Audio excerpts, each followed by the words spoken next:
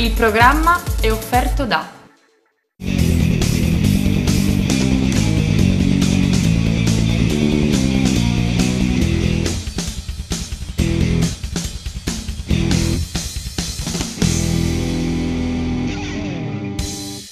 Riprendiamoci il mondo con il Tuareg Tour Operator. C'è posto per tutti. Non rinunciate alle vostre vacanze. Riprendiamoci il mondo con il Tuareg Tour Operator. Segui le offerte sul sito e prenota presso la tua agenzia di viaggi. Il Tuareg Tour Operator. Tutto un altro mondo da godere.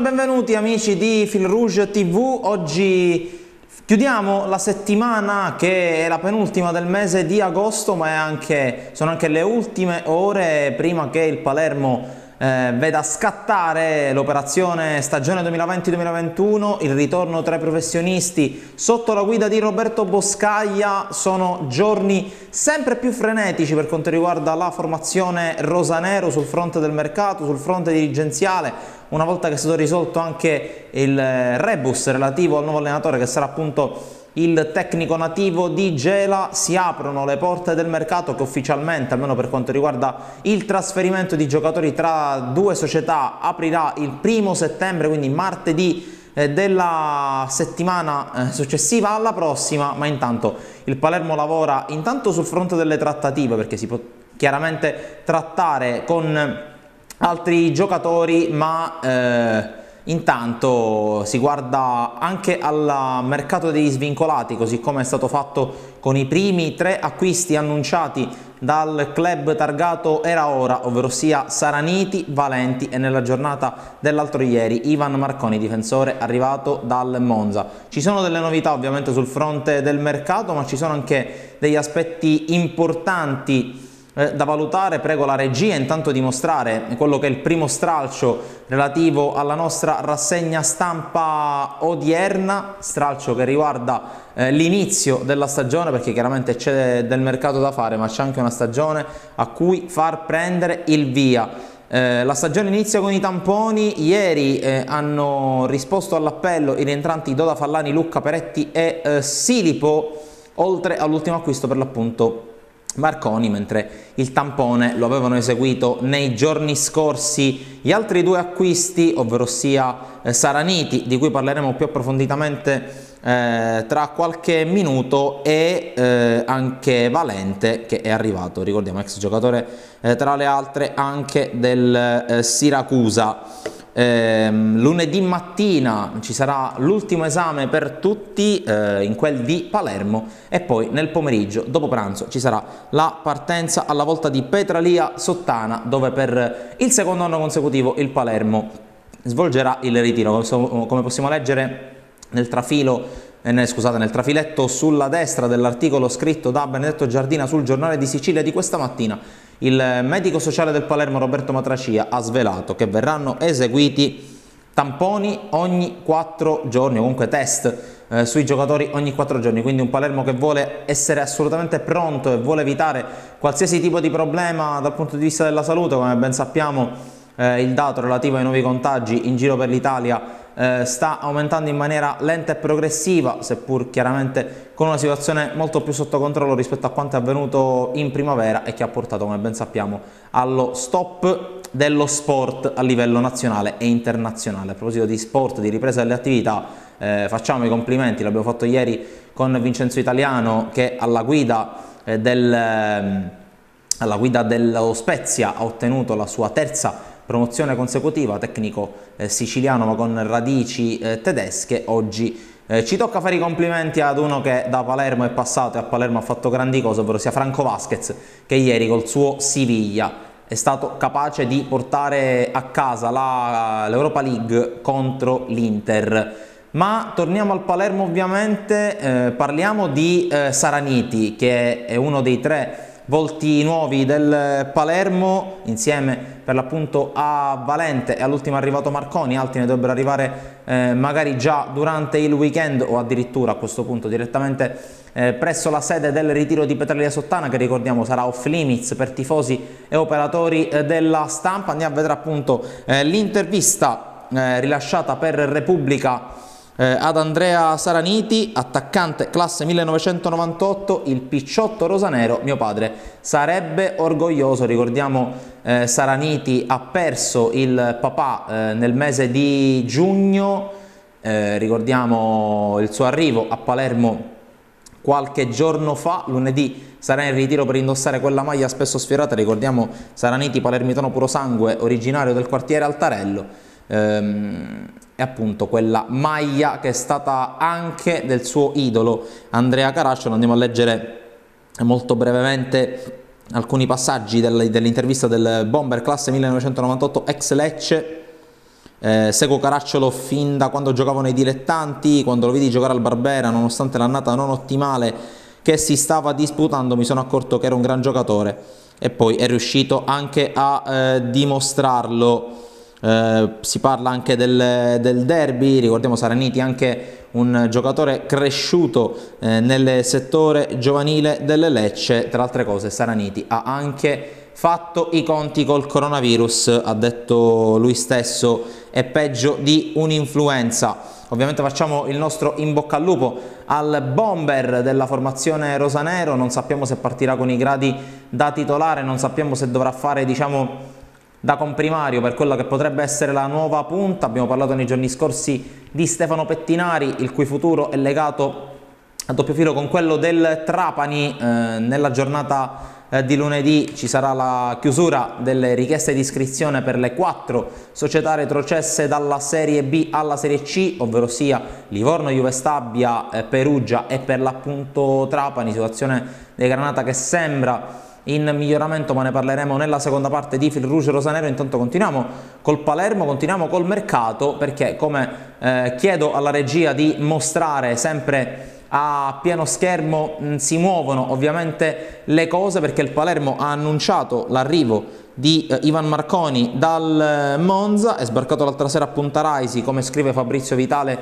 eh, sulla Gazzetta dello Sport. Ivan Marconi è ufficialmente un nuovo giocatore del Palermo e va a puntellare un reparto già abbastanza ricco di scelte nel ruolo, quello di centrale difensivo, che prevede la presenza di Lancini, Accardi e Crivello. A questo punto, eh, proprio Fabrizio Vitale sul giornale di Sicilia si chiede dove gioca Crivello l'anno prossimo, potrebbe restare centrale l'anno scorso, complice in parte anche il livello comunque abbastanza basso, eh, non ha fatto fatica a giocare da centrale ma potrebbe tornare in quello che è il suo eh, ruolo naturale, ovvero sia quello di terzino, quello in cui ha fatto grandi cose tra le fila ad esempio del eh, Frosinone in cui ha conquistato una storica promozione dalla B alla A. Oppure eh, Marconi potrebbe tranquillamente fare da rotazione con gli altri elementi del reparto difensivo, i già menzionati Lancini e Accardi, che comunque parte un gradino sotto all'ex Brescia e al Palermitano puro sangue, oltre che eh, al giocatore arrivato a titolo definitivo dal Monza nella giornata di eh, giovedì. Proseguiamo sempre parlando di eh, mercato perché il Palermo continua in maniera incessante a lavorare proprio sul reparto offensivo e come scrive questa mattina il Corriere dello Sport, Boscaglia cerca gol per il Palermo. Il nuovo allenatore è al lavoro per completare la squadra rosanero, il tecnico traccia l'identikit del suo bomber ideale, dovrà correre tanto, parole che ha detto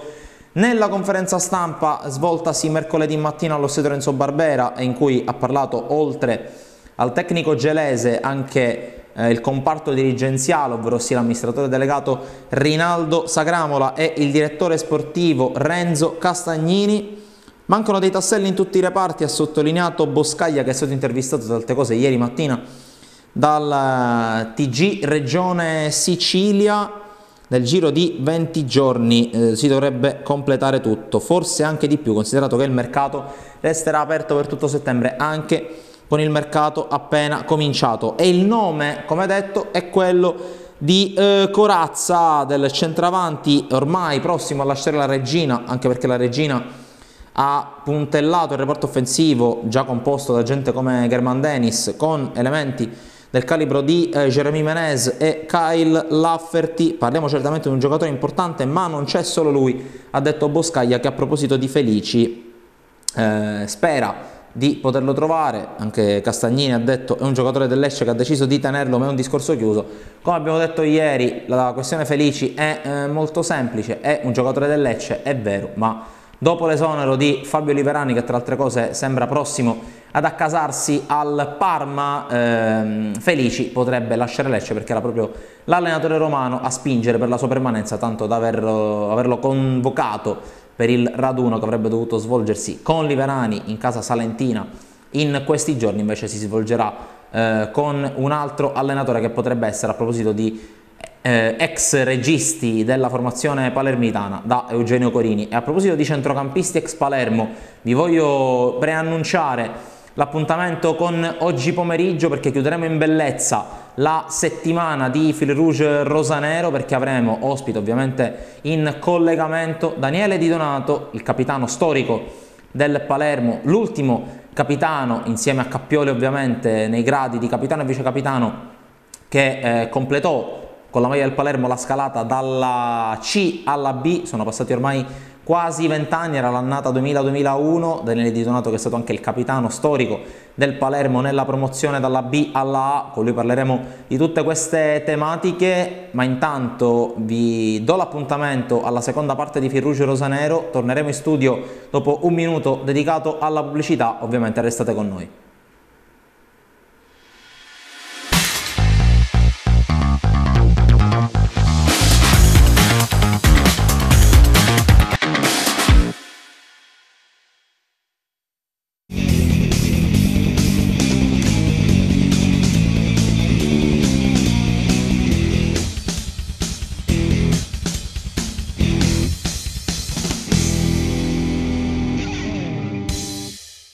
Riprendiamoci il mondo con il Tuareg Tour Operator. C'è posto per tutti. Non rinunciate alle vostre vacanze.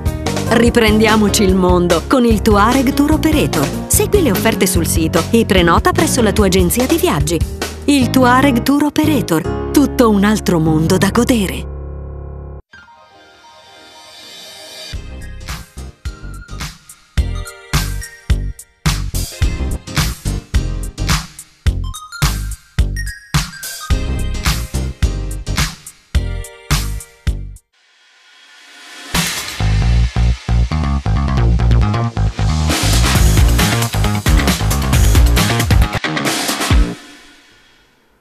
Dunque rientriamo, seconda parte di Fil Rouge Rosanero estate, come vi preannunciavo eh, in chiusura di eh, prima parte, oggi pomeriggio alle ore 18 sarà nostro ospite per l'ultimo appuntamento della settimana eh, Daniele Di Donato, storico capitano eh, del Palermo di due ere diverse in un certo senso, delle ultime due ere eh, precedente a quella attuale che stiamo vivendo, quella di, eh, del compianto Franco Sensi in quanto vinse da protagonista il, il campionato di Serie C 2000-2001 e vinse da capitano eh, con i galloni ben eh, precisi, ben determinati, il, il campionato 2003-2004 in Serie B con Maurizio Zamparini alla presidenza e con Francesco Guidolini in panchina, con lui parleremo eh, del passato, del suo presente e del suo futuro e del presente e del futuro ovviamente eh, del Palermo, ma non c'è solo il Palermo ovviamente a tenere banco in questo momento in ottica calcio siciliano perché si sta risolvendo in queste ore, dovrà risolversi in un modo oppure in un altro la situazione del Trapani, Trapani che ricordiamo è retrocesso sul campo eh, dalla Serie B alla Serie C, dopo anche il vano tentativo di fare ricorso contro la penalizzazione di due punti che alla fine dei conti è stata decisiva visto che al Trapani è mancato un punto per giocare i play-out poi vinti dal Pescara contro il Perugia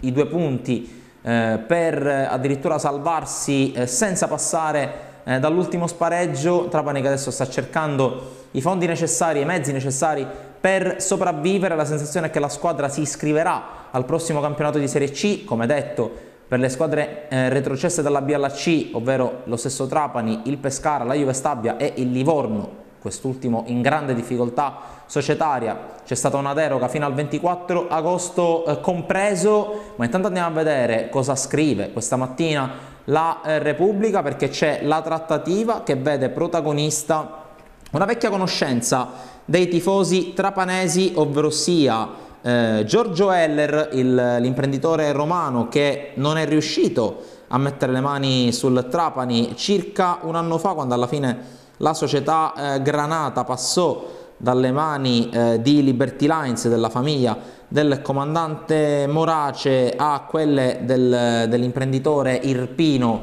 De Simone. Sappiamo tutti com'è finita anche con questo personaggio che ricordiamo è stato anche arrestato per appropriazione in debito, tra altre cose ha sottratto 300.000 euro dalle casse del Trapani. Heller, come si legge stamani su Repubblica, vuole eh, disperatamente il Trapani e chiede a Petroni di farsi da parte. La squadra verrà iscritta in Serie C, così scrive eh, stamani eh, la sezione siciliana del quotidiano, del quotidiano milanese, ma restano debiti per circa 3 milioni di euro che rendono il futuro del club a forte rischio. E dunque staremo a vedere anche la situazione del Trapani che è una situazione molto complicata come abbiamo avuto modo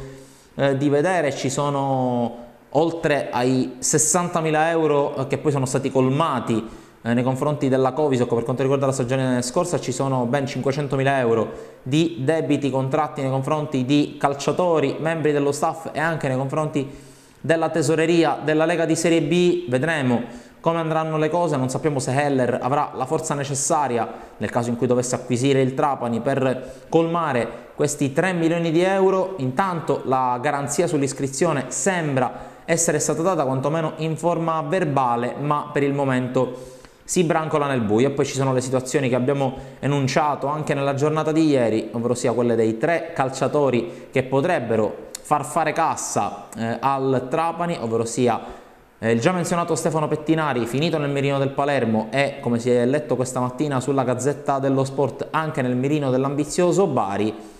Eh, Colpani, il giovane centrocampista ex Atalanta,